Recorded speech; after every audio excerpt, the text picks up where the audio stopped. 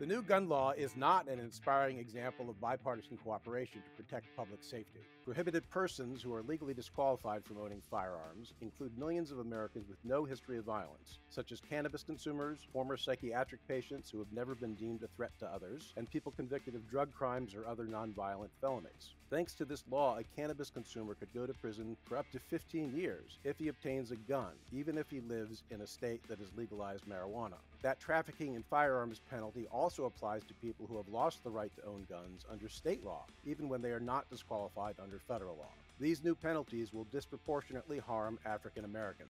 Even the American Civil Liberties Union, which thinks the right to keep and bear arms is a figment of the Supreme Court's imagination, recognizes that the categories of people that federal law currently prohibits from possessing or purchasing a gun are overbroad and not reasonably related to the state's interest in public safety.